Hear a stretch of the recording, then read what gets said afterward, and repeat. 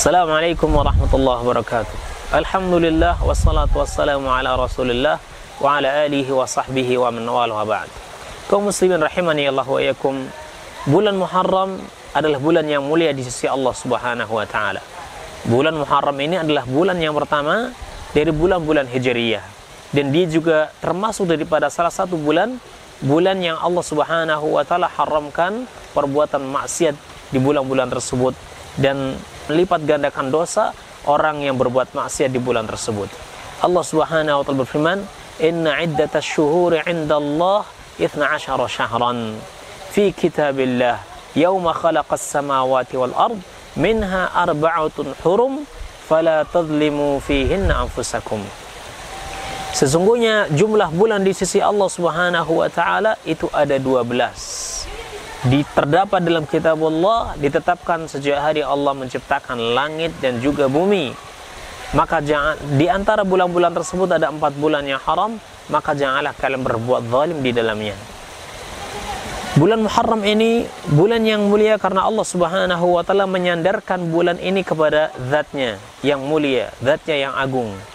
Di mana Nabi wasallam ketika ditanya oleh Abu Dzar Al-Ghifari radhiyallahu anhu ya di mana Abu Dhar ini mengatakan ayyul laili khairin wa ayyul ashhuri afdal. Malam yang seperti apakah yang baik itu dan bulan seperti apakah yang utama? Maka Nabi sallallahu alaihi wasallam mengatakan khairul lail jawfuhu wa afdalul ashhuri syahrullahil muharram. Sebaik-baik malam adalah pertengahannya dan sebaik-baik bulan adalah bulan Allah yang kalian namai dengan Al-Muharram. Naam, bulan ini mulia di sisi Allah Subhanahu wa taala. Sehingga Allah Subhanahu wa taala juga mengaitkan beberapa hukum dengannya. Di antaranya yang telah kita sebutkan di dalam ayat tadi, Allah Subhanahu wa taala melarang seseorang untuk berbuat zalim di bulan-bulan haram. Yang mana bulan-bulan haram itu di antaranya adalah Al-Muharram.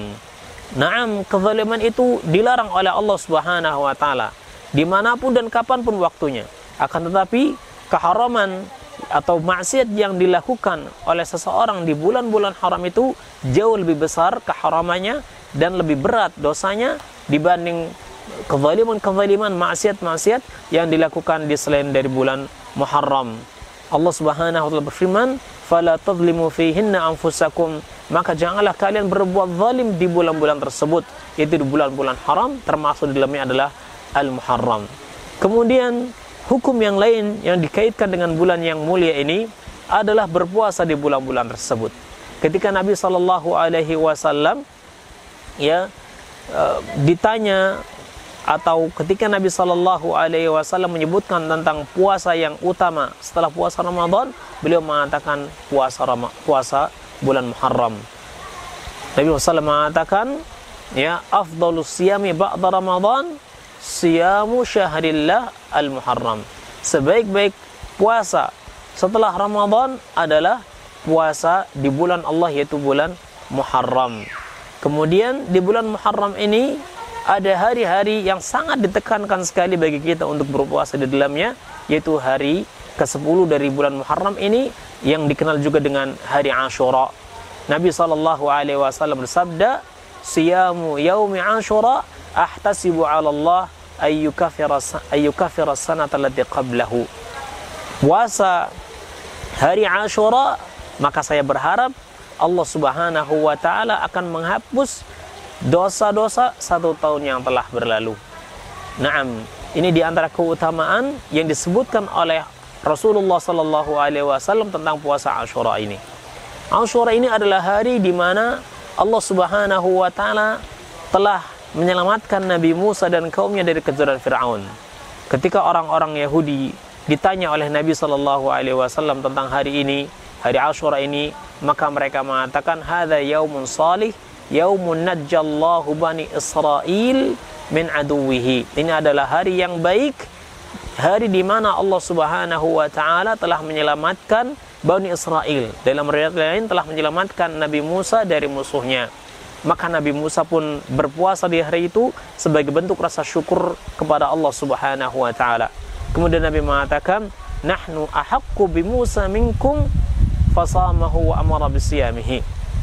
kami lebih berhak untuk mentaati Nabi Musa, mengikuti Nabi Musa daripada kalian. Maka beliau pun berpuasa di hari tersebut dan memerintahkan para sahabatnya untuk berpuasa.